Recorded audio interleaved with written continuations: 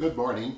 Welcome to the Daily Office. I'm Brother Bill, and this is morning prayer for Monday, June the 5th. It's the first week after Pentecost and week three in the Psalm cycle. And thanks for joining me. Open my lips, my mouth shall declare your praise.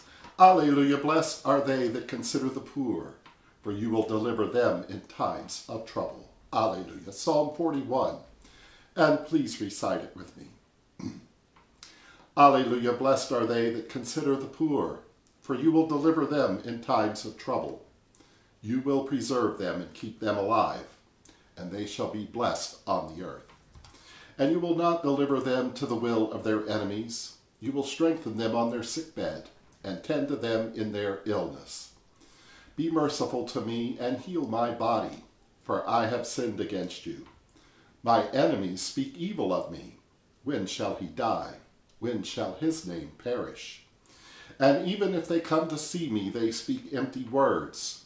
Their hearts gather iniquity to themselves, and when they go out, they tell it. All that hate me whisper against me. They plot together to cause my harm.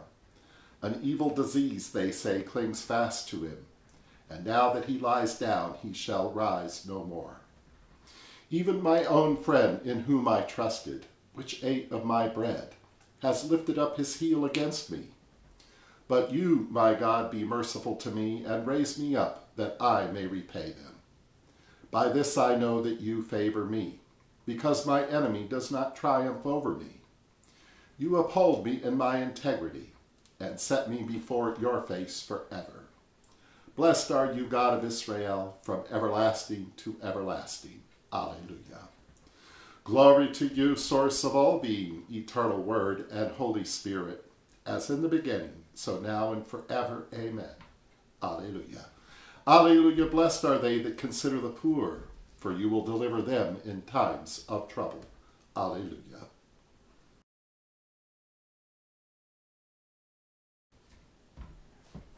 Deuteronomy chapter 11, beginning at verse 13. If you will only heed his every commandment that I am commanding you today, loving the Most High your God, and serving him with all your heart and with all your soul, then he will give the rain for your land in its season, the early rain and the later rain, and you will gather in your grain, your wine, and your oil.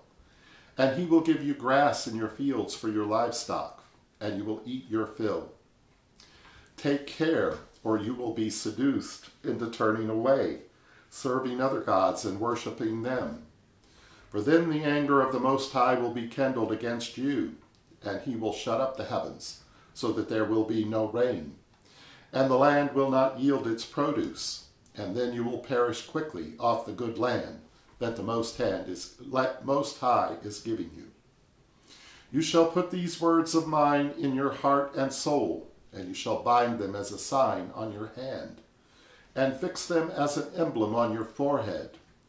Teach them to your children, talking about them when you are at home and when you are away, when you lie down and when you rise up. Here ends the lesson.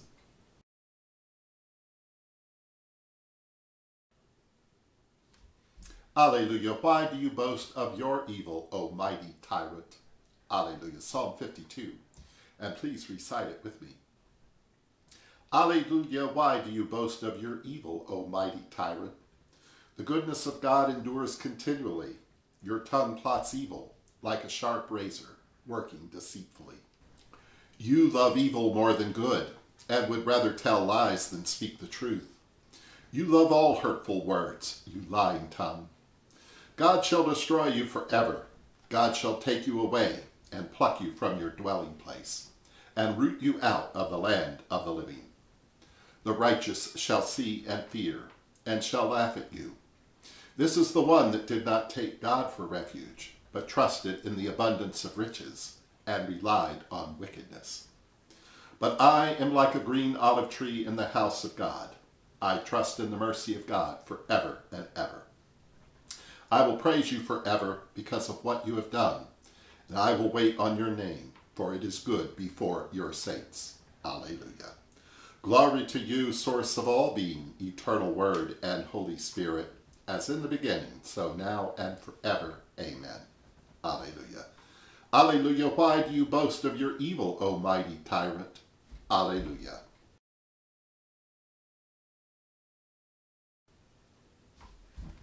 Paul's second letter to the Corinthians, chapter 5, beginning at verse 11.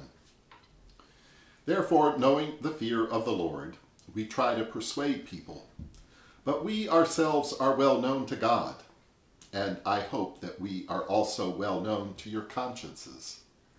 We are not commending ourselves to you again, but giving you an opportunity to boast about us, so that you may be able to answer those who boast in outward appearance and not in the heart. For if we are beside ourselves, it is for God. If we are in our right mind, it is for you. For the love of Christ urges us on, because we are convinced that one has died for all, therefore all have died.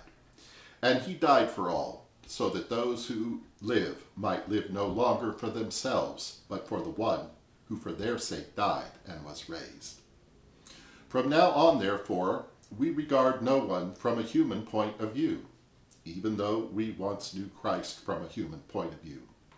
We no longer know him in that way. So if anyone is in Christ, there is a new creation. Everything old has passed away. Look, new things have come into being. All this is from God, who reconciled us to himself through Christ and has given us the ministry of reconciliation. That is, in Christ God was reconciling the world to himself, not counting their trespasses against them, and entrusting the message of reconciliation to us. So we are ambassadors for Christ. Since God is making his special appeal through us, we entreat you on behalf of Christ, be reconciled to God. For our sake God made the one who knew no sin to be sin, so that in him we might become the righteousness of God. As we work together with him, we entreat you also not to accept the grace of God in vain. For he says, At an acceptable time I have listened to you, and on that day of salvation I have helped you. Look, now is the acceptable time. Look, now is the day of salvation. Here ends the lesson.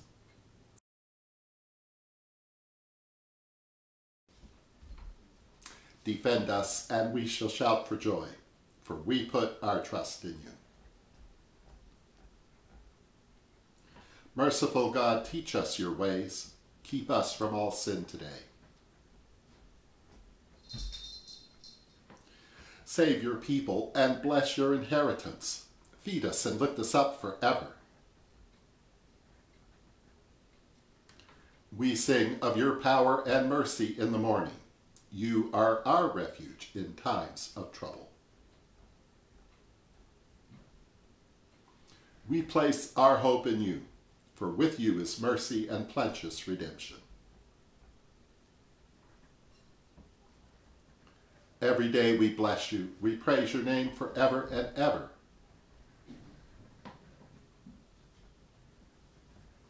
for the intentions of those who've asked our prayers and for all of your intentions.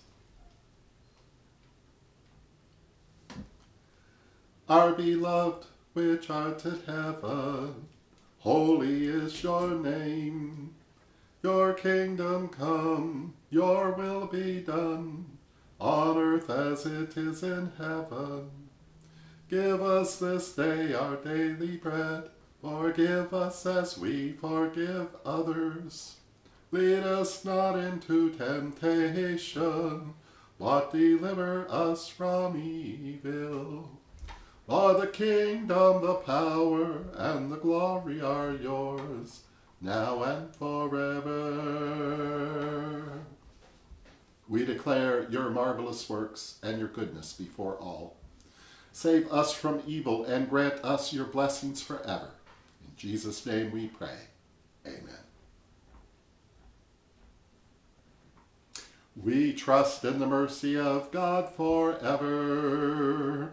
And glory to God, whose power working in us can do infinitely more than we can ask or imagine.